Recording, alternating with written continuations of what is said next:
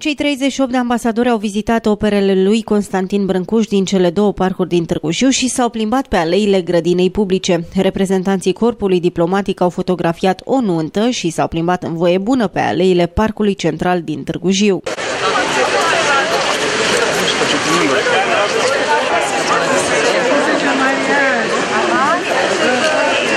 Reprezentanții celor 38 de țări s-au declarat îndrăgostiți de lucrările lui Brâncuș. Ambasadorii au putut admira frumusețile de pe cheile Sohodolului, dar și muzeul din Hobița și au declarat că susțin necondiționat includerea operelor lui Brâncuș în patrimoniul UNESCO. Uh, Brâncuș se naște la 19 uh, februarie 1876 la Hobița, Gorj.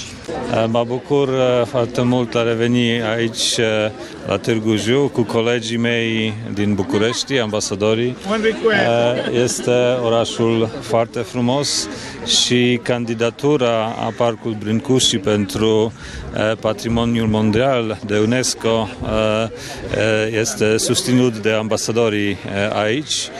Este ideea foarte bună și cred că este foarte bine pentru dezvoltare a potențialului turistic de orașul și de județul Uh, Gorj. Impresionați de frumusețile acestor opere s-au declarat și alți ambasadori. I'm very glad to come uh, to your country.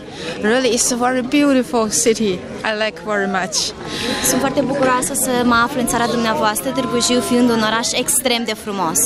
You know, I already uh, working here for 30 years, but uh, I visited already 29 uh, Rudettes.